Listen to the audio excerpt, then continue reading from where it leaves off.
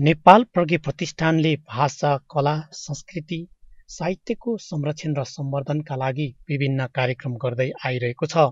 दुई हजार चौध साल असार नौ गते नेपाली साहित्य कला एकाडेमीका नामबाट नेपाल प्रज्ञ प्रतिष्ठानको स्थापना भएको थियो।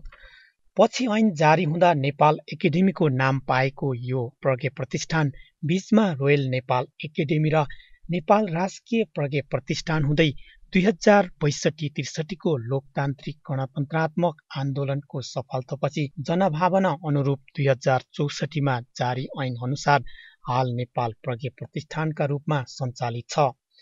प्रतिष्ठान नेपालका भाषा साहित्य दर्शनशास्त्र संस्कृति र सामाजिक शास्त्र सम्बन्धी अध्ययन अन्वेषण गर्न मौलिक सृजनात्मक वातावरणको निर्माण गर्न राष्ट्रका विद्वान एवं प्रतिभाको सम्मान गर्न सृजनात्मक चिन्तन र रचनात्मक कार्यमा जनताको सर्वाङ्गीण सहभागिता जुटाउन राष्ट्रिय एवं अन्तर्राष्ट्रिय स्तरमा प्राज्ञिक गतिविधिको सञ्चालन गर्न स्थापित एक राष्ट्रिय प्रतिष्ठान संस्था हो। आवश्यकता अनुसार विदेशी भाषाबाट नेपालका सबै भाषा र नेपालका भाषाबाट विदेशी भाषामा उच्च स्तरीय कृतिको अनुवाद एवं प्रकाशन गर्ने गराउने कार्य पनि भइरहेको छ। प्रज्ञ प्रतिष्ठानका प्रमुख संरक्षक प्रधानमन्त्री र संरक्षक संस्कृति मन्त्री हुने परम्परा छ।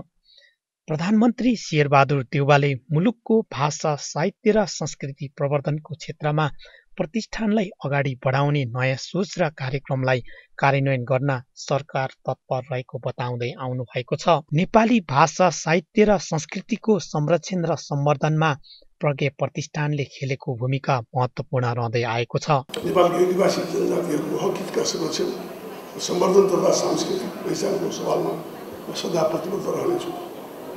नेपाल प्रज्ञ प्रतिष्ठानले आफ्नो लामो यात्रालाई निरन्तरता दिँदै चौमासिक समाचार प्रधान पत्रिकाको रूपमा प्रज्ञ गतिविधि प्रकाशित गर्दै आएको छ।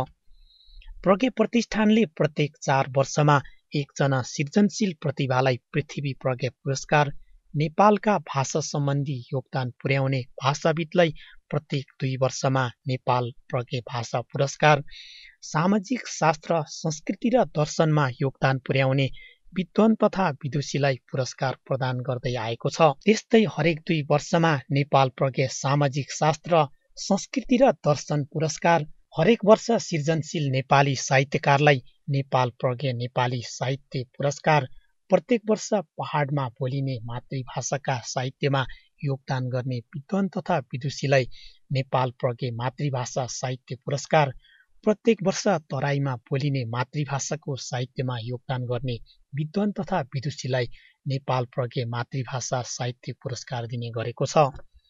नेपाल प्रज्ञ प्रतिष्ठानमा निम्न विधामा प्रमुख पाँच विभाग छन्। हाल यी पाँचवटा विषय क्षेत्रमा एघारवटा विभागहरू क्रियाशील छन्। यी प्रत्येक विभाग अन्तर्गत वार्षिक रूपमा अध्ययन अनुसन्धान गोष्ठी कार्यशाला अन्तर्क्रिया एवं प्रकाशनका कार्यहरू भइरहेका छन्। नेपाल प्रज्ञ प्रतिष्ठान कमलादीको पचास रूपनी जग्गामा आफ्नै निजी कोषबाट स्थापना भएको थियो।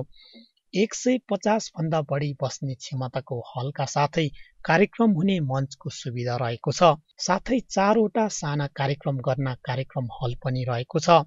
नेपालका गैर सरकारी सङ्घ संस्थाहरूले कार्यक्रम गर्दा वार्षिक डेढ करोडसम्म हल भाडा उठ्ने गरेको छ।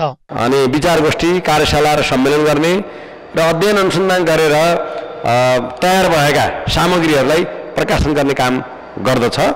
र दुई हजार चौध साल असार नौ गते स्थापना भएको यो प्रज्ञा प्रतिष्ठानले पैँसठी वर्ष पार गरिसकेको छ। सुरुमा विज्ञान प्रविधि पनि यसैमा थियो कला पनि यसैमा थियो। अहिले दुई हजार उन्चालिस सालमा यो त्यस बेलाको रोनास्ट र अहिलेको नास्ट अर्थात् विज्ञान तथा प्रविधि प्रज्ञा प्रतिष्ठानको स्थापना भएपछि विज्ञान र प्रविधिको अध्ययन अनुसन्धान त्यसैले गर्छ।